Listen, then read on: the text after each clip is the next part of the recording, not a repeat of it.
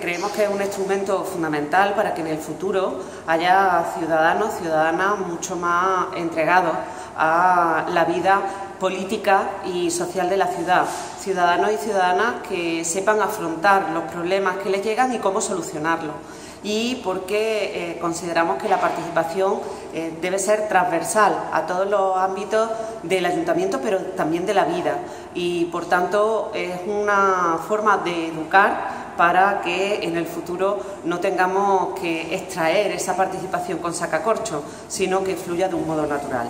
Me ha parecido que el contenido estaba muy bien enfocado, primero porque eh, enlazaba efectivamente la participación con muchos aspectos de la vida diaria, con lo que es la cultura, con lo que es eh, la creatividad infantil a la hora de afrontar eh, su vida, su vivencia, su mm, devenir diario y eh, por otra parte porque suponía mostrar también al exterior, hacerlo interactuar con sus padres y madres, con su entorno y dar así otra visión en la que los niños nos educan a nosotros.